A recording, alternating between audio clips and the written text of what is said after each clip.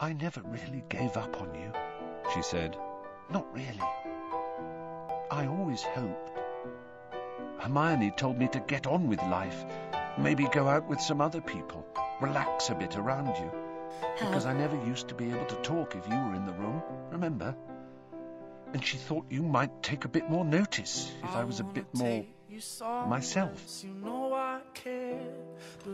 What did I do? Ginny, she's been talking about your summer. Bit annoying, really. Voldemort uses people his enemies are close to. He's already used you as bait once, and that was just because you're my best friend's sister. Think how much danger you'll be in if we keep this up. He'll know. He'll find out. He'll try and get to me. We wanted to talk to you, Harry, said Ginny. But as you've been hiding ever since we got back, I didn't want anyone to talk to me. Well, that was a bit stupid of you, seeing as you don't know anyone but me who's been possessed by you-know-who, and I can tell you how it feels.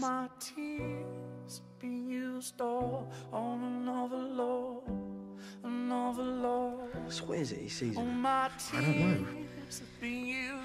She's smart, funny, attractive. Attractive. you know, she's got nice skin. What if I don't care? said Ginny fiercely. I care, said Harry. How do you think I'd feel if this was your funeral and it was my fault? I just wish I'd asked you sooner. We could have had ages, months, years maybe. But you've been too busy saving the wizarding world, said Ginny, half laughing. Well, I can't say I'm surprised. I knew this would happen in the end. I knew you wouldn't be happy unless you were hunting Voldemort. Maybe that's why I like you so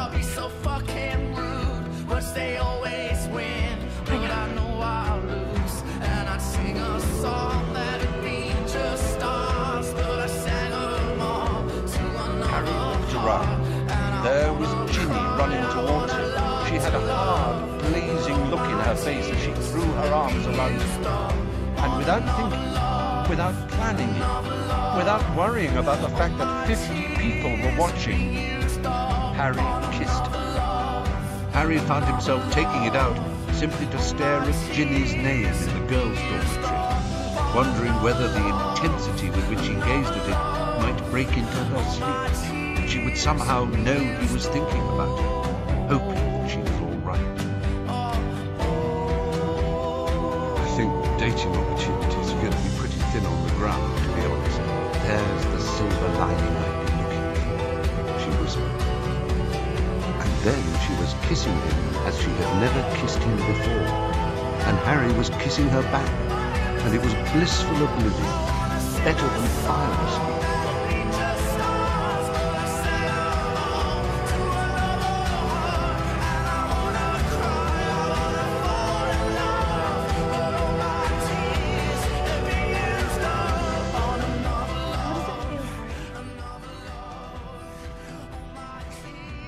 Dean with?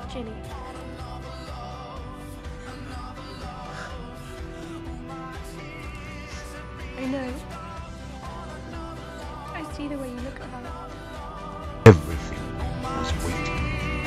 Hagrid was struggling, and Bellatrix was panting, and Harry thought inexplicably of Ginny, and her blazing look, and the feel of her lips on his.